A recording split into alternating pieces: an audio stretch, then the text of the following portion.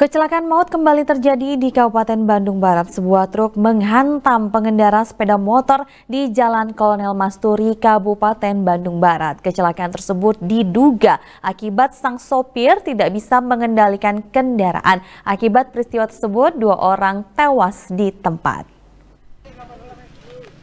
Seperti inilah detik-detik saat sejumlah petugas dari Laka Lantas Polres Cimahi dibantu warga mengevakuasi dua orang pengendara motor ke mobil ambulan yang tergeletak di ruas jalan Kolonel Masturi, Kabupaten Bandung Barat pada Senin sore kemarin.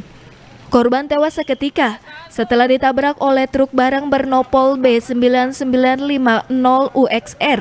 Peristiwa ini bermula saat pengemudi truk barang yang bernama Gunadi melaju dari arah Cisarua menuju Cimahi menyalip kendaraan yang di depan.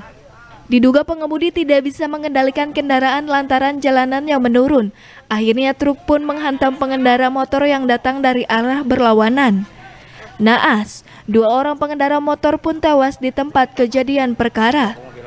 Eh, pada hari kemarin telah terjadi kecelakaan lalu lintas di Jalan Koloni Masturi yang pada saat kejadian karena kelalaian daripada supir truk itu sehingga menyebabkan pengendara roda dua dua-duanya meninggal dunia. Dan ini sudah ditangani oleh kita dan sudah diambil langkah-langkah untuk supir saat ini sedang dilaksanakan eh, penahanan.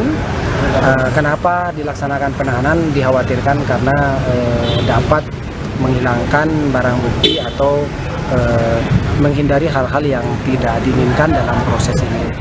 Pengemudi supir truk yang baru berusia 29 tahun ini pun ditetapkan sebagai tersangka dan ditahan di Mapolres Cimahi.